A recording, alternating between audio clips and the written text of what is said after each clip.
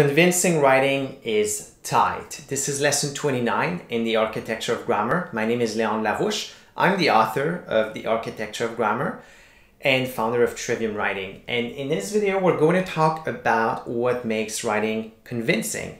And if you're not sure what I mean when I say writing is tight, what this means is that writing is clean, writing is uncluttered. I often think of writing as kind of like a rope. And so we want things to be tight. We don't want it to be loose. And let me illustrate what I mean by that in just a second.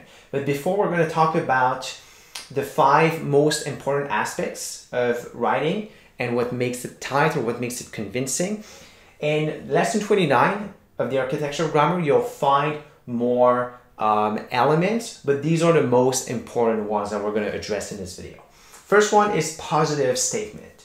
Second one is unnecessary words. Third is related words. Fourth is signpost. And fifth is five, uh, same person. So let me illustrate what I mean. Now you'll remember we've been using the who and the what throughout this entire video series. So let's bring those back.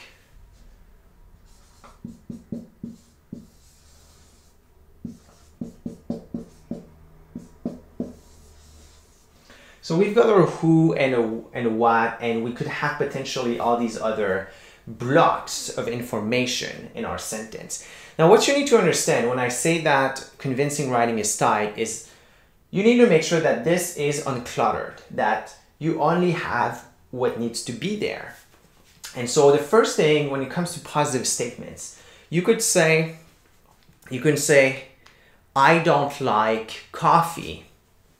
That's a negative statement because you have the not. I don't like coffee. I do not like coffee. It's better to say I hate coffee because then we don't have this. We don't clutter our sentence with the negative. It's a lot more clear, it's a lot more impactful, it just works out better. So, positive statements as much as you can. If you don't have uh, to use a negative statement, then don't use it. So that's for uh, the positive. Now, unnecessary words. You'll have a lot of those. Words like uh, that, words like just, words like so, really, very. You know, all these words are just fillers. They don't do anything. My challenge to you is put every word on trial for its life put every word on trial for its life. What I mean is, if the word doesn't bring value to the sentence, if it doesn't drive the sentence forward, then it does not need to be in the sentence. You can just delete it. And we've talked about this before in this video series, but you have two very important types of words, parts of speech. You have nouns and you have verbs, right? So nouns tend to be the who, verbs tends to be, well, verbs are always the what? It's the action.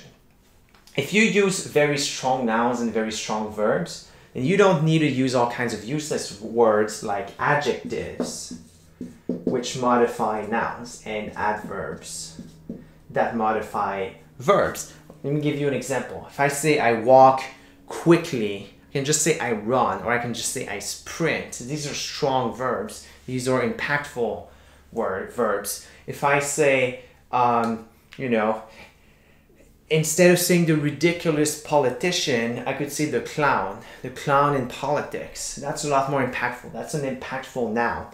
So you want to make sure that you get rid of any unnecessary word. You have to ask yourself, well, does that word actually add value? Can I delete it? If I delete it, what happens? If not much happens, then just delete it. Related words. You want to keep the related words together, it can be tempting to put things in the middle. For example, the example that I give in the Architecture of Grammar is about Wordsworth and the fifth book of the Excursion. And it says, um, in the fifth book of the Excursion, Wordsworth gives a meta description of this church. Now that is correct because the related words are together. But what would be incorrect would be to say Wordsworth in the fifth book of the excursion gives a minute description of this church. So what we've done is we've effectively split the who and the what, and so the related words they're not together. So that's not good. So we don't want to do that. Now,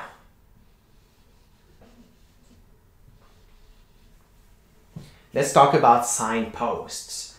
Signposts are essentially connecting words that gives us an idea of where we are going. For example, a signpost would be uh, first, or it could be let's discuss let's discuss X, Y, or Z. These are signposts. A signpost is essentially taking your reader by the hand and telling them where we are going. Signposts can be really effective because they make your writing clearer, they make it um, easier to understand. But if you use too much of them, too many of them, then it's going to make your writing really heavy, and that's not good. It's going to undermine the quality of your writing. It's not going to sound as convincing. So you want to make sure that you use them when it's appropriate, but that you don't let them take over your writing. Now, same person. We're talking about the verb tense. The verb tense goes in the what? It's the verb. So the action that is being done in the sentence. We can use the present tense.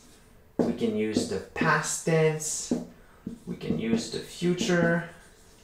We can use all these different verb tenses. And sometimes it's tempting to change the verb tense. And uh, we don't want to do that. We don't want to do that because it confuses the reader. These are time indicators. So it is as if you were saying, well, it's going there and then there and then there. And so that's just not effective. So sometimes if you're writing in a certain way, you might use the present tense to talk about the things that are currently the case and then talk, tell a story and go in the past. But make sure that you do that only when actually necessary because otherwise, as I've said, it's going to be extremely confusing for the reader. So, to recap, make sure you're using positive statements. Don't encumber your who and what with the not. Make sure you remove any unnecessary word. Put every word on trial for its life. Make sure that they provide value in the sentence. Keep related words together. Don't separate your who and your what as much as possible. Use signposts um, appropriately, moderately. Don't let them take over your writing and then keep your verbs in the same person as much as possible unless it's necessary. So this was a lesson 29 in the architecture of grammar. Open your book, The Architecture of Grammar, and go and look for the examples. And there are more elements as well that we haven't discussed in this video. So you'll see examples, you'll have exercises that you can do and so you'll get the best possible practice when it comes to making your writing convincing.